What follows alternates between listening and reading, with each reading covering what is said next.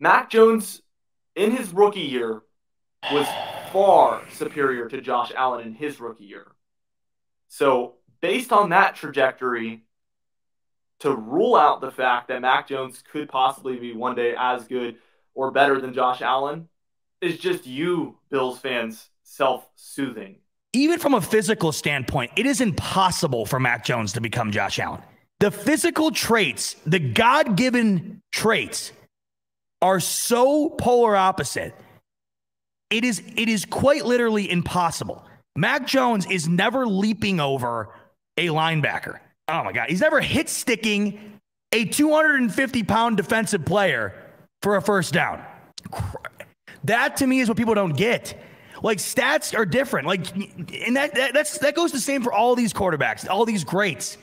There's only one Josh Allen. Aaron Rodgers can't do that and couldn't do that. Peyton Manning could never do that. Tom Brady could never do that ever. Yes, of course, they are the GOATs, the elite, the best of the best.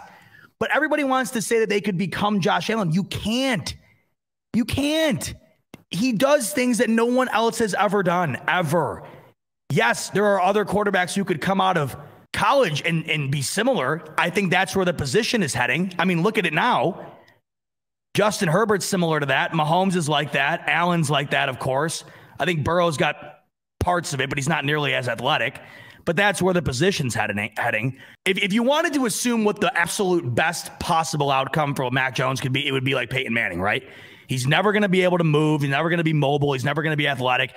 He would have to become one of the best pocket presence in the last 20 years if he wanted to be on a similar level as far as ranking quarterbacks is concerned to Josh Allen.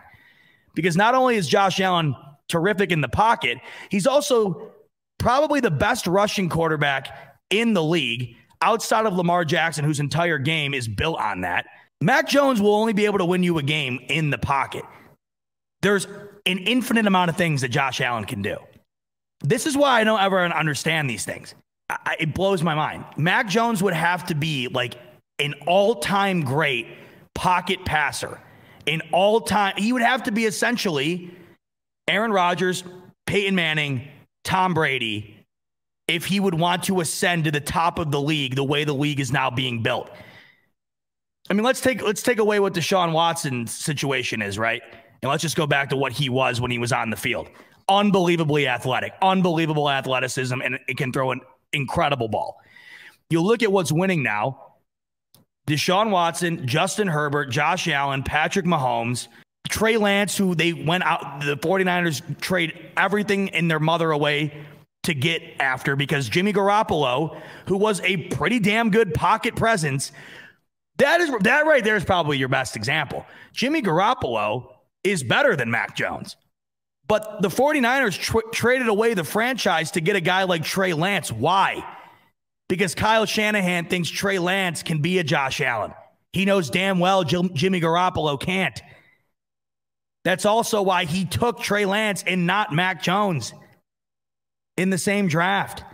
The flame that Josh Allen lit is the same flame that he is being burnt by when it comes to him being compared to everybody else in the league. He lit the flame that is now the unicorn quarterback. The best example is the one I just brought up. It's what the Niners did. The Niners, did we they just went to the NFC championship six months ago with Jimmy Garoppolo. They beat Aaron Rodgers in Lambeau with Jimmy Garoppolo. Yet they are going to cut him before week one if they can't find a trading partner because they want a guy who is like Josh Allen. Even though they just went to an NFC championship and they went to a Super Bowl with him two years prior to that, they know that that's not going to be the future of this league. So they trade away the entire future to get a guy that is going to be that new NFL. And Trey Lance has all the physical attributes to potentially be a guy like Josh Allen. You know, if it, say say Trey Lance goes out this year and has a very similar year to what Josh Allen did his rookie year, if not a little bit better, right? I don't think it would be that nuts for a 49ers fan to say, I think that Trey Lance could be better than Josh Allen. because at least he has the tools to be able to be a similar style player. The ceiling for Mac Jones is what it is. It, the guy can only do so much. He will never, ever, ever be able to be anything remotely close to what Josh Allen is on the field. And the only way he could possibly be better is if he takes what is currently right now a New England roster that is just bad.